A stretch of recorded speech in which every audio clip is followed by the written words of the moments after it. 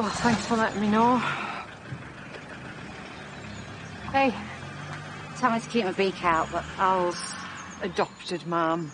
oh, the one that dumped him. Do you know about that? Yeah, my mum must have said something. Right, well, apparently everything's sorted. Yeah.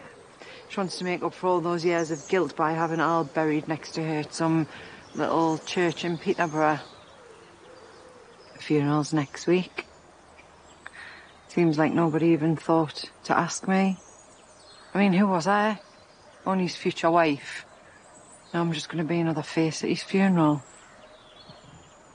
I'm starting to feel like I meant absolutely nothing to him. I can't tell you how much that hurts. Hey, hey. I might feel a bit better if I had Amy than that to but she's staying off the radars now. That could be her now. Nah, me mate Ella. I reached out last week for a bit of support and all she could do was bang on about this amazing job she's got on a cruise liner. It's all right for some. I'll tell us. She asked us if I wanted to tag along. I mean as if. How the other half live here. You take care.